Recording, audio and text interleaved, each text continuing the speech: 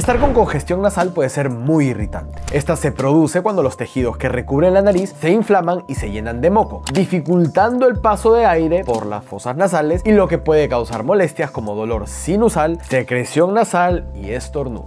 Si la congestión es causada por un resfriado o una gripe, puedes quedar unos días con la nariz tapada. Pero si es crónica, puede haber una condición de salud subyacente como 1. Crecimiento de pólipos nasales 2. Sinusitis crónica 3. Tabique desviado 4. Adenoides inflamadas o aumentadas de volumen o incluso enfermedad por reflujo gastroesofágico. Durante la etapa del embarazo también es recurrente que la madre tenga congestión nasal, pero esto ocurre más durante el final del primer trimestre. Esto debido a las fluctuaciones hormonales y el aumento del flujo sanguíneo. Cambios como estos pueden afectar las membranas nasales, haciendo que se inflamen, se sequen o incluso que sangre. Ahora, independientemente de la razón, hay maneras de aliviar esta terrible situación que nos puede frustrar todo el día y aquí te las cuento.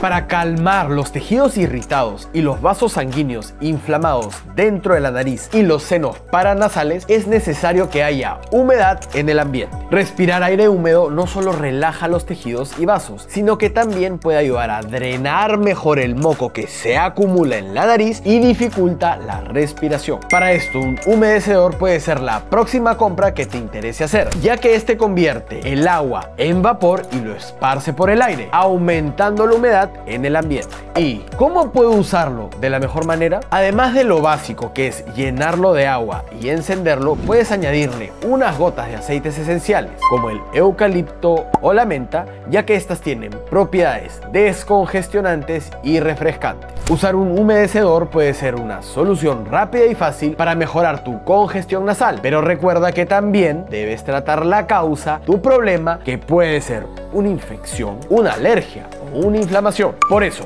te recomiendo que consultes con tu médico si tu congestión es persistente o severa.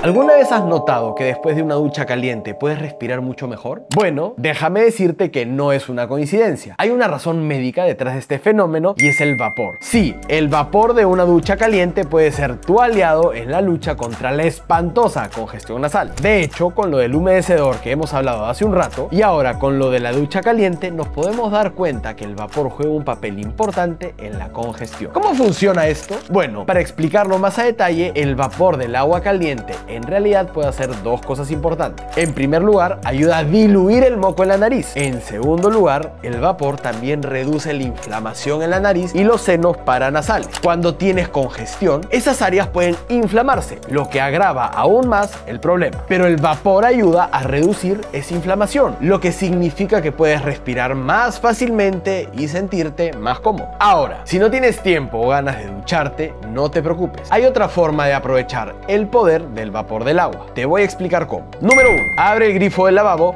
y deja que salga agua caliente hasta que se forme vapor. 2. Coloca una toalla sobre la cabeza y acerca tu cara al lavabo. Esto con cuidado de no quemarte, por favor, con el agua caliente. 3. Respira profundamente el vapor de agua durante unos minutos hasta que notes que tu nariz se despeja. Este método es muy sencillo y puedes repetirlo tantas veces como quieras, siempre que tengas cuidado de no quemarte ni irritarte la piel.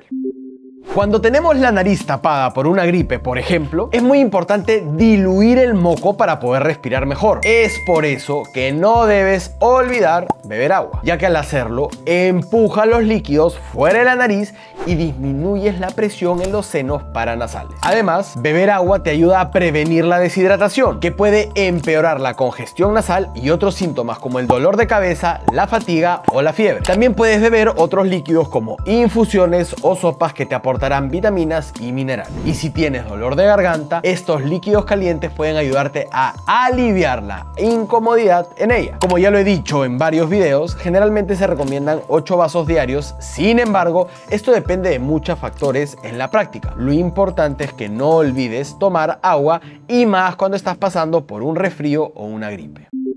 Hablemos de algo llamado solución salina. ¿Qué es exactamente? Bueno, es una solución de agua salada. Ahora, Sé lo que estás pensando. ¿Cómo puede el agua salada ayudar con la congestión nasal? Pues resulta que puedes hacer maravillas. La solución salina, cuando se aplica a tus fosas nasales con la ayuda de un spray nasal, incrementa la humedad de esas zonas, lo que en consecuencia disuelve el moco, ayudando a facilitar su expulsión. Además, hay una cosa muy interesante. Algunos aerosoles salinos también incluyen medicamentos descongestionantes. Estos medicamentos pueden ayudar aún más a abrir tus vías respiratorias y proporcionar un alivio rápido. Pero antes de que adquieras uno de estos aerosoles con medicamentos, te aconsejo que primero consultes con tu médico. Si quieres preparar tú mismo un spray nasal de solución salina, puedes mezclar media cucharadita de sal en una taza de agua hervida en un recipiente limpio. Luego vierte la solución en una botella tipo spray, guárdala en un lugar limpio y fresco y ya está. Puedes usar el spray nasal de solución salina varias veces al día según tu necesidad.